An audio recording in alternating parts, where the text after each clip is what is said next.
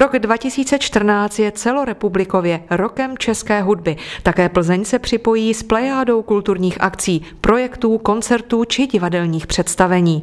Do programu se výrazně zapojí dva subjekty, Plzeňská filharmonie a divadlo Josefa Kajetána Tyla. Kromě e, skladeb, které jsme začlenili do dramaturgie e, filharmonie, jsme vytvořili speciální projekty. Tím prvním je uvedení svatebních košilí kantáty Antonína Dvořáka. V závěru roku bychom rádi uzavřeli tento rok české hudby v Plzni uvedením Requiem Antonína Dvořáka v katedrále svatého Bartoloměje v Plzni.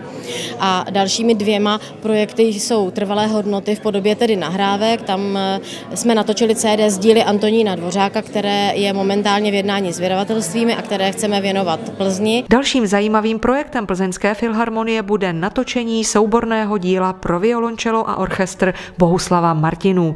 Oba záznamové nosiče budou profilem mladých českých umělců violončelisty Petra Nouzovského a šéf-dirigenta Plzeňské filharmonie Tomáše Braunera.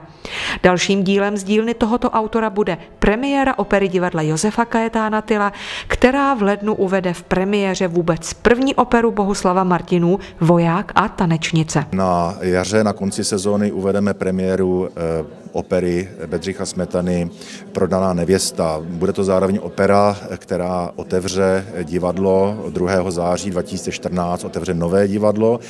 Eh, další projekty jsou eh, již tradiční matiné. Budeme na jaře, eh, uskutečníme na jaře dvě matiné, eh, jednak matiné eh, zborové, na kterém zazní skladby českých soudobých i klasických autorů. Plzeňská opera myslí i na dětské publikum. Dramaturgie připravuje dvě jednoaktové opery pro děti a také začnou postupně probíhat konkurzy do dětského pěveckého sboru, který by měl tak jako baletní škola spolupracovat na divadelních představeních či koncertech. Chceme připravit i speciální projekt Kroku české hudby, který se bude jmenovat Čeští velikáni v krátkých kalhotách a ve čtyřech koncertech uvedeme, eh, uvedeme takové příběhy z dětství o eh, Bedřichu Smetanovi, Antonínu Dvořákovi, Leoši Janáčkovi a Bouslovu Martinu.